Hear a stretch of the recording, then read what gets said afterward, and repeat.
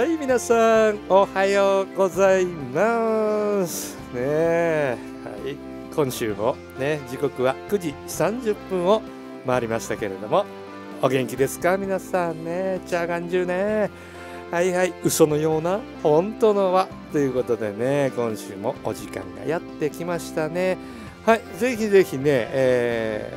ー、土曜日ね毎週土曜日午後2時から6時ね18時まで、えー、宜野湾市のバルナバハウスと書かずにあります。検索すると出てきます。カタカナでバルナバハウス。そこでね、え、私ドクター水素ボトルね、えー、まあ使い方っていうかな。コーヒー飲みながらねこんなんやってるよっていうので皆さんの血流を見たりすることもできますからぜひラジオを聴いて気になった方はね訪ねてきてください。こちらの FM ギノマンにお電話していただいても大丈夫です。ね。というわけでね私パーソナリティも土井秀人がお届けしてますが今週はねね改めてまたご紹介しましょう。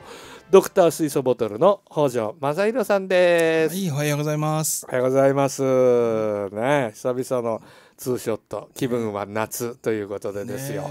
どうですか？沖縄の夏といえばいやねあの台風の時にねこの前来ましてね。はいはいはい。で翌日から空港閉鎖ですよ俺その直前にあの入ったんですけどまあ飛行機がすごい揺れ方して。でしょうね。で降りる時にガンガンガンガンって降りておおと思ってすごかったですね。あれ僕もよく覚えてますけどあの宮古島にほとんどもう近づいてる状態でしたからすっごい風でしたよ。いやものすごい強かったです。ね。よくまあ腕のいいパイロットさんだなと思ってね本当にあのあれですよ空飛んでる時は全然大丈夫なんですよ。であの雲の下に降りてきたあたりから突然ものすごいこう色が空気の色がどす黒くなってきて、ね、これでガーッと降りてきて地面に近づけば近づくほど飛行機はもうコントロールできなくなっていやちょっとこれドキドキするなと思ってこれでまあその降りることよりも降りられないことの方がねあの皆さんにお会いできないしラジオの収録最悪の場合どうしようとかねいろんなこと考えちゃってねそっちの方がドキドキしてたんですけど、まあ、なんとかね無事に降りられて。いや本当にさすがさすがだなと思いましたよ。東京にいても全然こんなことは体験できないですよ。まあそうでしょうね、ねだから毎日ほら降りられない事件って前なんか北条さんとね話してほら、はい、あの千歳空港とかあるじゃないですか、はいはい、ねアイスバーになっちゃって、うん、だけど沖縄あね煽られて空中で転覆するんじゃないかっていうぐらい強い風ですもんね。本当にすごい強い風ですよね。ねホテルでもね木がものすごい揺れてるの見えるし、うんうんうんうん、なかなかね全国旅慣れたね北条さんでもびっくりしちゃうぐらいの台風をね体験してねっていう感じではあるんですけど。でも一番驚いたのはやっぱりコンビニですね。コンビニとスーパー。何も食べ物がない えっ？て言って。っていうか空いてるのもまあまあびっくりするっちゃしますけども、まあ、まあね。ねそう。であの僕が泊まってるホテルの中に入ってるローソンがもう食べ物ないんですよ。でおにぎりもないしパンパン類は一個たりとも残ってないし どうするのっていうね、まあ、あの降りてすぐに買って部屋に置いといたからまだ良かったんですけど台風行ってしまってるのに、ね、それでもまだみんなね買いに来るんですよ。しばらくちゃんと流通いかないと思うからっていうだからねあのすごかったですよ。何にも残ってない。でも不思議なことにねあのスイーツは残ってるんですよね。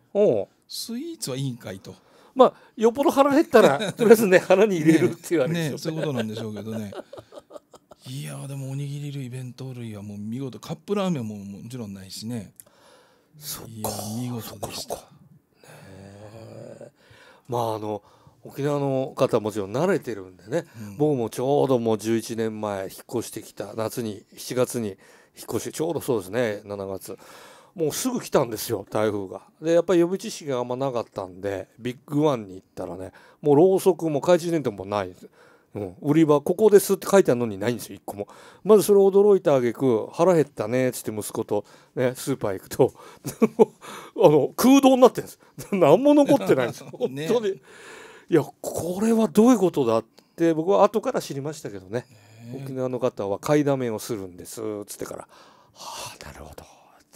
びっくりしました、うん、なその日何食ったのかな？覚えてないんですけどね。まあまあまあまあそんなね、えー全国はい。旅の途中のまたね、はい。まあでもほとんどとりあえずうん東京に3日4日しかいないんじゃないかっていう補助さんが。もうね何のために部屋借りてんだか分かんないですよ。もう自分の部屋にねとにかく戻らないし。何しろ東京帰ったら社長業あるでしょ一応社長ですからね。えーなんですけどもうねあの会社戻ると社員がこの書類にハンコくださいあの書類にハンコくださいっつって もうずーっとそこに拘束されるから自分の仕事全くできないですよね。いやもう旅の中でちょっと空き時間ねうなんかね最近だからだんだんそういう出先でもあのいろんなことができるようにちょっとグッズがどんどこどんどこ増えてますよ。なるほどですねであの旅行カバンがなんとね半年使えないんですよ持たないんですよ。旅だらけで その下のローラーがね半年経たずに壊れるんですよ。そんでそれこそ 保証保証1年でこれね本当に直してくれるのかなと思うけど、いやねだからそんなちょっと異常な使い方ですね。すごいですねもうその辺のなんかあの歌手やスポーツ選手よりも ゴロゴロゴロゴロ転がしている北条さんが。アイドルより忙しいかもしれない。忙しい、えーこの、えー、北条さんが、えーここ最近ねこうも持って帰ってきてくれたこうちょっとうそみたいな水素に関わるお話なんてのはねどうですか、もう毎毎毎日のようにねその説明会場にこんなことが起こったんですっていう方が来られるんであのびっくりさせられることばっかりなんですけどねあのー来月なんとか来ていただこうと思ってるあの上野夏美ちゃんねの飼ってらっしゃるワンちゃん。うん。ワンちゃんなんですよ。今回は夏美ちゃんの話じゃなくてワンちゃん。ワンちゃんが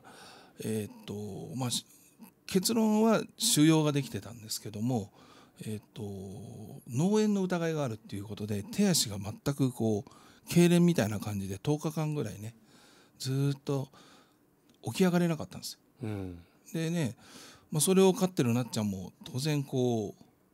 うねあの自分の家族がまあねあの病院の先生はちょっとあまりにもステロイドを使ってうん。良くならないようなら、えー、まあ安楽死しかないですよみたいなことを言うから本当にね、あの辛いことだったんですよ。ででももしもし脳炎だとしたら炎症だから。うんそうじゃないにしてもあの何か物が圧迫をしているような状態であってもそれは結局血流が悪くなってるからうん。トラブルが起こってるわけですからうん吸わしたらって言ったんですね。そしたらですねえーっとその2日後にワンちゃん用のカニューラをあの広島に送ってあげて届いたのを本人が水素を吸わせる時に実況中継を始めたんですよ。どういうことなっちゃんがね、うん。ワンちゃんに水素を吸わせる吸わせ始めるところを実況中継し始めたわけです。あのライブ動画みたいな。今からや吸わせりまますすみたいな、うんうん。でもぐったりしてるワンちゃんがうんこうつけられて10分したら四肢、まあ、両両手足がねあのヒクヒクなって立てもしなかった子が走り回るんですよ。その辺を。10分ですよ。たった。10日間起き上がれなかったワンちゃんが10分で立ち上がってその周りを走り回って最後はタンスの上に上がるわけですよ。あのドクター水素ボトルのカニューラから出てきますね。2本、あのお花に人間入れる。はい。あそこの状態を切ってですか？えっとね私がねワンちゃん用バージョンっていうのを作ってるんですよ、うんうんでそれがあのまあ簡単に言うとジュース飲むカップをイメージしてうんてあのカップのところにカニューラを入れて、はい。それが抜けないようにちょっと特殊なパーツであの挟んでコーティングしてでワンちゃん用であの後ろから紐をギュッとこうひヒュッと引ってあげるとワンちゃん自動的に吸える。水素がゴーッと出てくると吸えるっていう。お花お口に当てるようにですか？そうですね。鼻と口からワンちゃんも吸えるんですけどやっぱりねあの人間だけじゃなくて生き物はあの水素がね宇宙で一番最初にできた物質であるし、うん。水素が体に入ってくるとやっぱり自分の体から活性酸素を取ってくれるっていうことで血流が良くなっちゃうんでしょうね。もうそうとしか考えられないんですよ。でそれがもう物理的に、ね、手足が痙攣を起こして動けなかった子がちゃんと走り回ってるんですけどって言ってもう本人が一番びっくりしてますよねそれ見ながらね。たった10分ですよ社長。っつって。だってあの飼い主の上野夏美ちゃんご自身がそもそもそうそう。ねでもう再生不良性貧血ですから、うん。生きていること自体がね、不不思議な病気になって本人も寛解してますからね、うん。その元気な姿をねあの店にあの来てくれる予定になってますけれども。はい。まあワンちゃんまでね本当にあの切ない状況だったんですよ。その10日間僕もね何度かお電話いただいていて「いやーうちの子がうちの子が」って言ってねね言ってたのがめっちゃくちゃ元気になって今動画見せてもらったら公園でちゃんと走り回ってました。まあ最終的にはね、えっと腫瘍が見つかってその腫瘍を摘出する手術はやったらしいんですけど、うんでもねお元気になってましたワンちゃんも。素晴らしいですね本当にあねじゃあせっかくだから 今日はあのペットシリーズでもうもうちょっと触れておきましょうか。はいえっとこれはどどこだ？な、えっとじゃあ沖縄市だ。沖縄市の方でなんとあの先週出ていただいたモリンガ。はいモリンガを作っ生産されてる農家の方なんですけど、えっと飼っていたワンちゃんが心臓がひひどく悪くなって、えっとよ神奈川の病院に連れてったら心臓の手術で250万かかるって言われたで心臓の音も悪いしあの苦しそうにいつもぜいぜいぜいぜいしてるっていうんでこの子は助けられませんかって言って私の説明会にワンちゃん連れてきた人がいるんですよ。でどうだろうな30分ぐらいかな吸っていただいたんですよワンちゃん様ワンちゃんにそのさっき言ったワンちゃん用カニューラで。あの、えー吸っていただいてそしたらその胸のゼーゼーが取れてしまってその場で。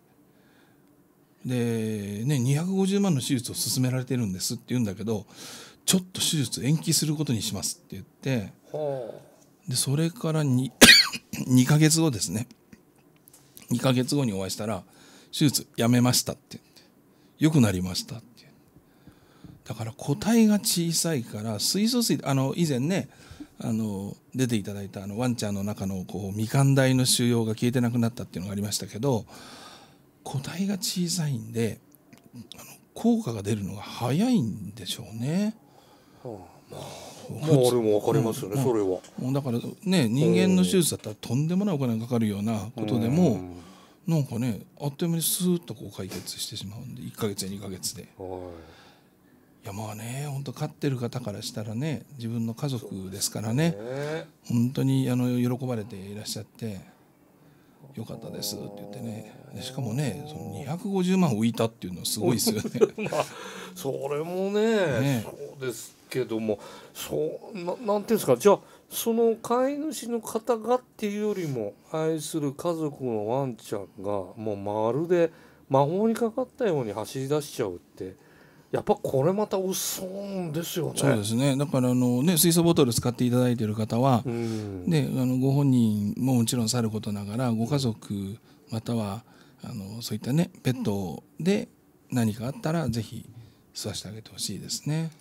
なるほどですね。これまたやっぱりまあでも大きさっていうのもあると思うんですけどまあこのところねがんの方が良い方向に向かっているというニュースがやっぱりこうしてねドクター水素ボトル入ってくるんでやっぱりワンちゃんにしてもそういう腫瘍がね血栓の詰まりがなくなり腫瘍がなんかこう流れていってしまうっていうのはそうですね。まああのえっ、とこのさえっ、と2週間連続でね、うん。あの先週先々週と、うん。あのがんのお話が出まして、えー東大が私どもの機械を使って調べていただいて分かったことは、えー腫瘍細胞が、えー水素を吸入していただいて同時に炭酸水を飲んでいただくと体温が上がりやすくなって上がっ体温が上がって36度8分以上を超えるとどうもその腫瘍を NK 細胞とかキラー細胞とか T 細胞とかっていう自分の持ってる免疫細胞が叩きに行ってくれるので小さくなると。いうことが、まあ、だどなたでもどの部位でも起こるがんのどの部位でも起こるってことを見つけたもんですからね。うん。でもその条件はやっぱり水素のガスの濃度が高くないとダメっていうことで、まあ、私どもの水素ガスはねうん。おかげさまで濃度は世界一ですので、まあ、これを使っていただくと非常に効率的にそういうことができて、まあ、現実にねあのこの2週間連続でそういう方がありましたし。そうですね。はい、で先週私が、えっと、福岡の説明会にお邪魔していた時に、まあ、どことは言えないんですけどある大変有名な誰でも知ってる病院でがん治療をずっとやってきたんですけれどもありとあらゆる治療をやってきましたけれども他の病院に行ってくださいと紹介状はいくらでも書きますよと言ってまあ事実上はねもう諦めてくださいっていうことを言われてその帰りみちみち説明会があるよって言ってつられ連れてこられたんですよ。うんほいでねまあ本当に疲れ切った感じなんですよ。それででなんかその病気のせいなのか原因は分かんないんですけど背中がものすごい今痛くてもうこの痛みがたもう本当にうずくまるぐらい痛いんですよって。これをまず治すことはできるんですかってからいや水素は治したりはしませんけど血流が良くなったら痛みはやがるやあの、ね、あの和らぐ可能性があるので、ちょっと吸ってみますかねなんつってね。1時間ぐらい吸ってもらったんですよ。うん。そしたらね、まあ、指先の間その間血流を見ながら吸ってもらったんですけどみるみるうちにその痛みが取れていくわけですよ。でね途中でこう立ち上がってこういろいろこうこう体をよじらせるんですけどおちょっとなんか痛み取れてきてるかもとかね最初はもう疑心兄貴だから最初はそんなはずはないよなとか言いながらねあのこうやるんですけどだんだんだんだんねあのなんていうかな感動に変わっていくんですね。取れてるんだけど北条さんと言い始めるわけですよ。ほいで結局ねその日買っていかれては翌日また買いに来てい。はでさらにまたもう一回買いに来て3台買っていかれて、まあ、どうどなたが使うのかなと思いながら皆さんとあの持って帰って吸ったら体調がいいっていうんでねいどうぞそれで買っていただきました。そんなこともありましたね。いやいやまだまだ尽きないねえーお話なんですが一旦ちょっと CM 入りましょうね頑張るあなたを応援するドクター水素ボトル。体の中から若返るドクター水素ボトルが沖縄に。WOO イースト株式会社。電話番号0335272211はい。ねえ嘘のような本当の輪ということでね今週はドクター水素ボトルのね北条正宏さんお迎えしながら私土井秀人と一緒にお届けしてるんですが本さんあの先だってね私もあのある方のご紹介であのちょっと水素のねなんとか教えてほしいってあの買おうか迷ってるんだけどってねその方のなんかこう LINE で送られてきたら濃度が3万 8000ppm って出てるんですよ。水素濃度。はい俺ちょっとあれゼロ一つ少ないのかな？と思うからねいつも見慣れた数字じゃないもんだからあれですけど本当あの間違ってそういったところのね商品を買わないでほしいなっていうご説明とか、まねラジオを機の皆さんでもしたいですよね。そうですね、まあ、3万 8000ppm 鼻で吸うところで本当に出てたら すごい機械ですよまあ、おそうですよね。3万8000う出てたらちがすねこれがすごいとしてもね。そうあのむうんそうですね。今から8年前に私がこの水素業界に入ってきた時に、うん。えー水素ガスの濃度が鼻で吸うところですよ。うん。発生した瞬間じゃないですよ。ほとんどの商品カタログのところに書いてあるのは発生した瞬間の濃度ですから皆さん騙されないでほしいんですけど、えー純度99.9とか67%とか、そういう書き方をしている場合が大半なんですが、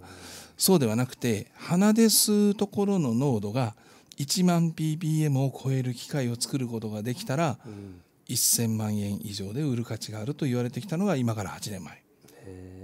水素業界の常識なんです。だから、えー、と3万 8000ppm あったら本当にすごい機械だと思いますがね。大変恐縮ですが私どもは鼻で吸うところで83万 1170ppm なのでまああの私どもからすると頑張ってるね。頑張れよ。みたいなね。そんな感じですね。結構ね立派なお値段したんですよ。アマゾンで見だからなんかあんまりねまあアマゾンが言われるけどなんでもないでしょうけどちょっとそういうんじゃなくて私たちがね一緒にやるこう説明会にね来てくれたら嬉しいなとつくづく思いますね。病院とかあのなんていうかな研究でうん。使われている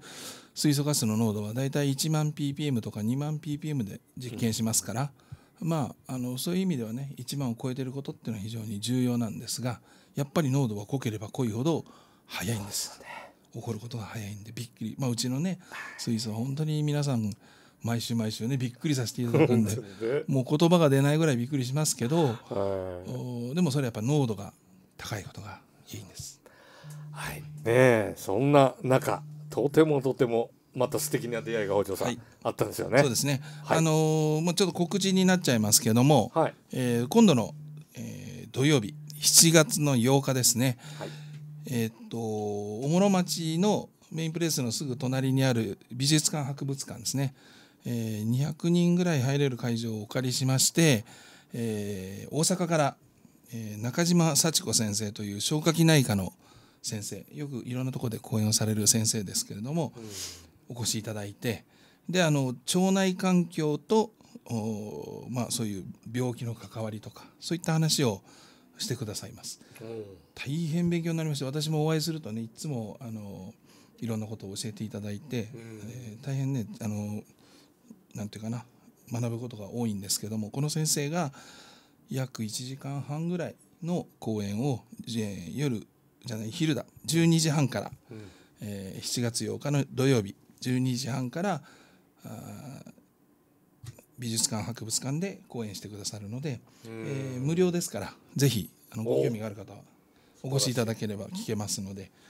遊びに来ていただければと思います。ねえこのね、えー腸活健康セミナー目に見えない慢性炎症と病気の関与とありますけどこれ難しくないですよね。元気でいたいかな健康ってどんな風にね続けていったらいいかなと思う中で水素の効果的な取り入れ方っていう部分にもねあの触れていただけるという、えー検索してみましょう。真ん中の中に普通に島です。サーチコ先生。ね。えー人弁に左それから、えー知るという字ですね。中島幸子先生。大変権威あるね、えーご活躍をされている、あのー医学博士でもいらっしゃるんですね。はい。えー、と私たちも本当に楽しみです。これね無料なんでぜひぜひね、あの健康に気遣う方、ね、うん、どうしようかな、どうだろうって思う方、ね、駐車場もね、ここいっぱいありますから、そうですねね、ぜひお気軽に来ていただけたらと思います。ね、お問い合わせはぜひぜひ、本当ね、この、えー FM 技能はね、お電話いただいても結構ですし、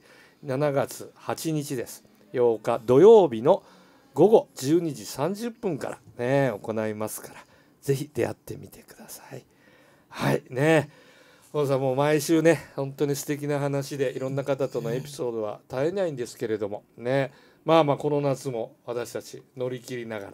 ね健康に過ごしていきたいですね。はい、はい。またね今後素敵なゲストをお迎えできることを祈っていますが。ちなみにこの中島先生に来月、あ来来えー来週ですね。うんうん。あのラジオにも出ていただこうと思ってますので。素晴らしい、えーというとああなるほど。そうですよね、い、いなあこの先生。いやなんか緊張しそう。すごいですね、いや中島幸子先生の、えー水素の効果的な取り入れ方。ということなんですけど。ねいやいやいやなんだろうな。このラジオをお聞きの皆さん僕最近ね本当にあのーありがたい、うん、ラジオ聞いたんだけどって言って検索していただいてあの番組のねあの人のあれ話よかったよとか、うん、やっぱねこのあの山口社長もねやっぱり嬉しそうにじゃないんですけどすぐ電話してって言って LINE が来るからすぐ電話してって言って出会いがあってなんかねあの嬉しいです。僕たちはね。うん。ぜひやっぱり健康それから美容ね何かをやる気になったりっていうことも僕はやっぱりね皆さんがおっしゃる生きていく上でとっても大事なことかなっていうふうに感じています。ぜひ7月8日土曜日12時30分からね、小諸町の県立美術館博物館の中で行います。これ2回かな？確かね。うん。行いますので、ぜひ遊びに来てください。無料でご招待しています。というわけで、嘘のような本当のは、ね、そろそろエンディングですが、いつもいつも、えー東京からドクター水素ボトルの森尾さん、今週もありがとうございました。ありがとうございましたはい、またね、来週お二人プラスで、えーお届けできると思います。皆さん、ぜひぜひ聞いてくださいね。ありがとうございます。